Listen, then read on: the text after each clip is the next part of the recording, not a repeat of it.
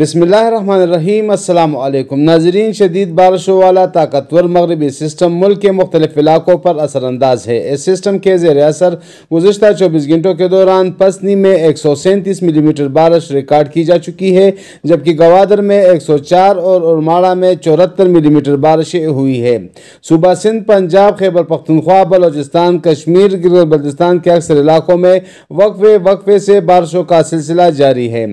آج پانچ جنوری جنوری بدھ کے روز کے لیے محکمہ موسمیات کی پیشگوئی ہے کہ صوبہ سندھ کے زیادہ تر علاقوں میں مطلع بر آلود رہنے کے علاوہ کراچی، دادو، حیدرآباد، سکر لاڑکانہ شہید بن نظیر آباد جامشورو مرپور خاص، خیرپور اور منجدڑوں میں تیز ہوا اور گرج چمک کے ساتھ بارش کا امکان ہے۔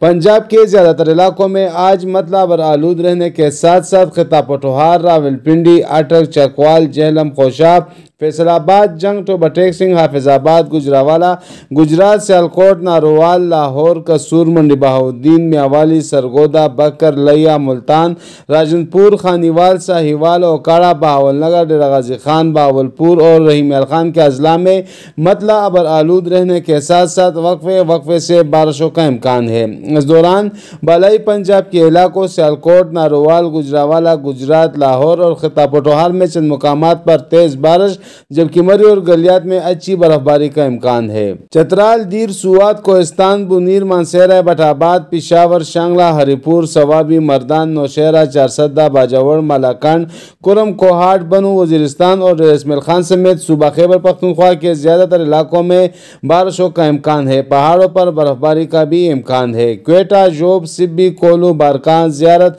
پشین، چمن، کل عبداللہ، کل سیف اللہ دالبندین چاغی، تربت، نوشکی گواد گوادر پنجگور نوکنڈی خاران کیچا واران کلات خوزدار، ہرنائی، گوادر، مکران اور لسبیلا میں تیز ہوا اور گرج چمک کے ساتھ بارش اور شمالی بلوچستان میں برف باری کا امکان ہے۔ گلگت بلتستان اور کشمیر کے زیادہ تر علاقوں میں وقفے وقفے سے بارش اور پہاڑوں پر برف باری کا امکان ہے، جبکہ کشمیر اور اس سے ملک کے علاقوں میں چند مقامات پر تیز مسلادار بارش کی بھی توقع ہے۔ یہ تھی اپڈیٹ اجازت دیجیے اللہ حافظ۔